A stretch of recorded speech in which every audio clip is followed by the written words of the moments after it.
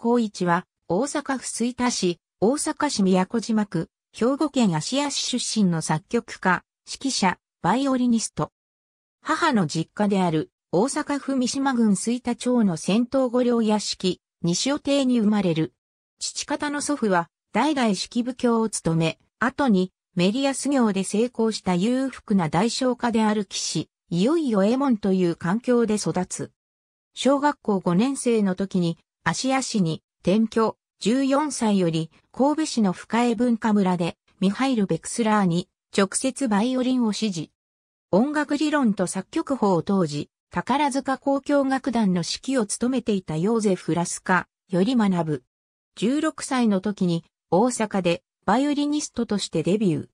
旧制高南高等学校を2年生の時に中退後、ジュネーブ音楽院に入学し、優秀な成績で修了。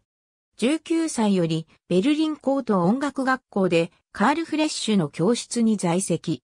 1929年、1710年製のストラディバリウスを購入。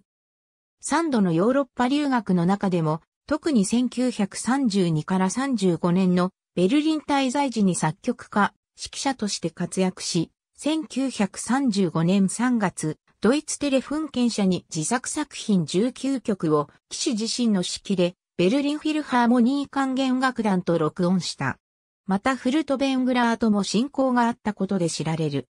バイオリニストから作曲、指揮者に転向したと言われるが、作曲、指揮活動で多忙になってからも、バイオリニストとしての活動も諦めてはいなかった。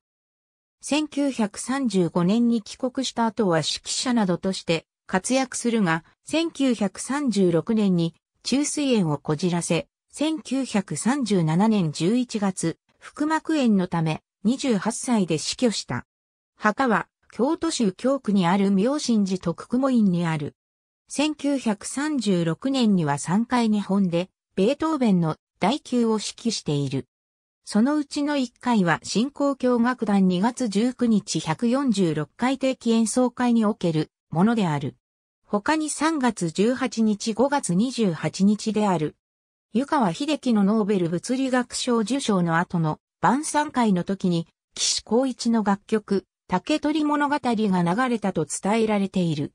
母校の江南高等学校には、岸光一資料室があり彼の作品に触れることができる。同校の元教員、草加徳一による、岸光一から蘇る、溶接の天才、毛利正人による、評伝、岸光一永遠の青年音楽家が出版され、また小松和彦らが岸の曲を復活させ、話題を呼んでいる。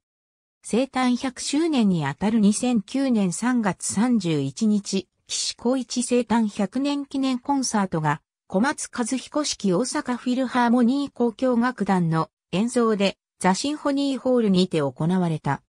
ソプラノ坂本玉木、ソロバイオリニストに、小栗町へを迎え、歌曲、天野原、籠垣、赤いかんざし、力車、バイオリン競争曲、交響曲、仏田が演奏された。また、江南大学及び、江南高等学校、中学校では様々な場面で彼のバイオリン曲、竹取物語が使用されている。